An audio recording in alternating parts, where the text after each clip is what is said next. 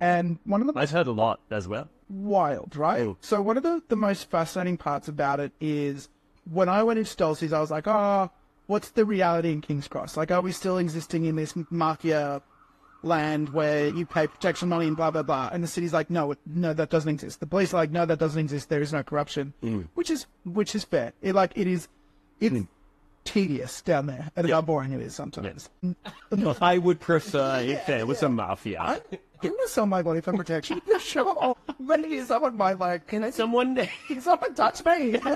um, but I think I'm on Craigslist. Uh, Oh, going years. That was closed down years ago. I know. Uh, but essentially, the thing that I find really fascinating about it is that everything got shut down. Hmm. The main reason that everyone suggests that it was is because the cross was becoming unruly, having a siren in the background. I love it. Yeah, it's genuinely, straight up a cop I was like, oh, it's an ambulance. it's a beautiful area.